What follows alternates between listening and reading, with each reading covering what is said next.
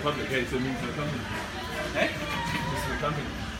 Oh, we're later. Yeah, hey, yeah, yeah. girls, thanks for standing in the rain.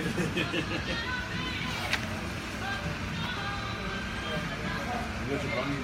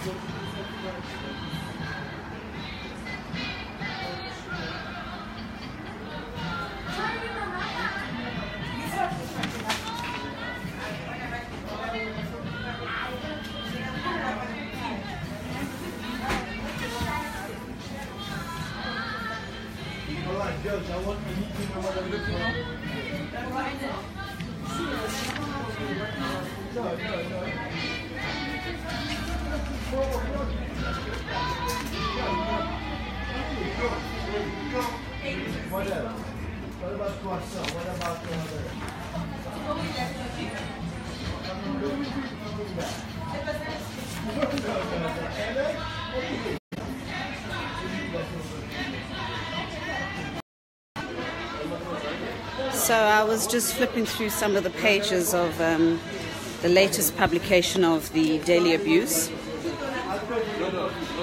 Um, and yes, um, I'm seeing some of the comments on, yes, this is really sad, it should be happening, but it's a reality.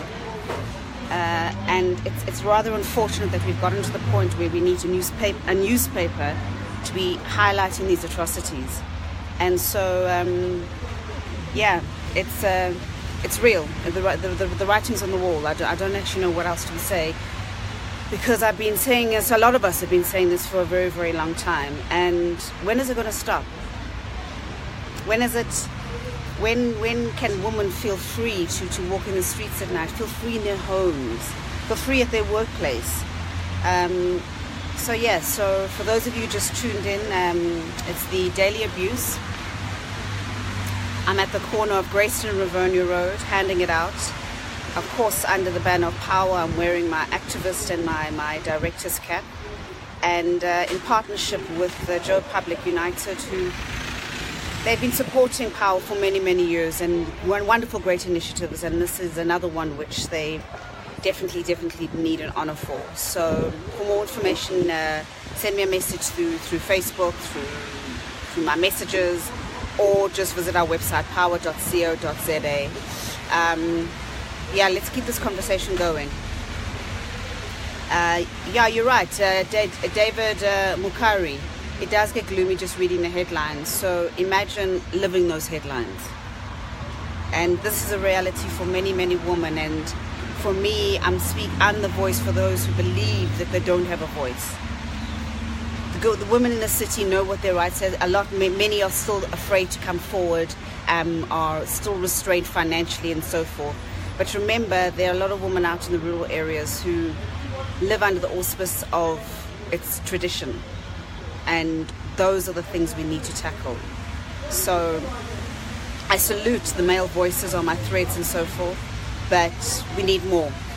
We need louder voices from the male in, in, in solidarity with, with what we're standing for, in solidarity with being against abusers. And that starts with conversations you're having with your sons, conversations you're having at the boardroom, conversations you're having on the golf course or in the locker rooms with the boys, a couple of drinks afterwards. Uh, yeah, what are you saying when, when, when somebody makes a joke about beating up a woman or dehumanizing a woman? Are you smiling? Are you being neutral? Are you standing up for it? Because that could be your wife, that could be your sister, or ultimately that could be your child. Decision is yours, yeah? I'm going to flip through a couple more pages just so you can uh, get the extremity of it.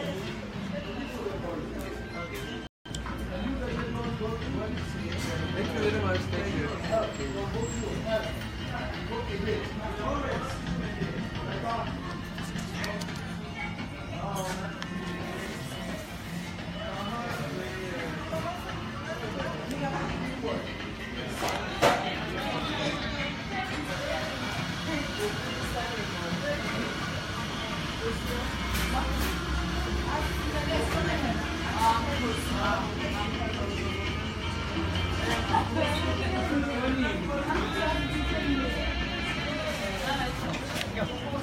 like a Monday.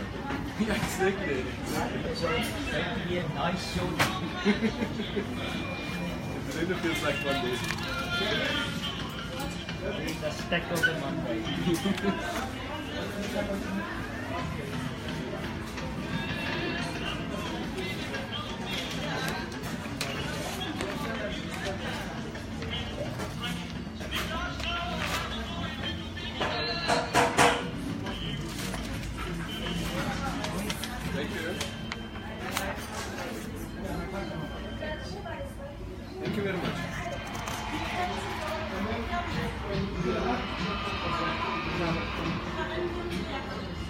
Gracias.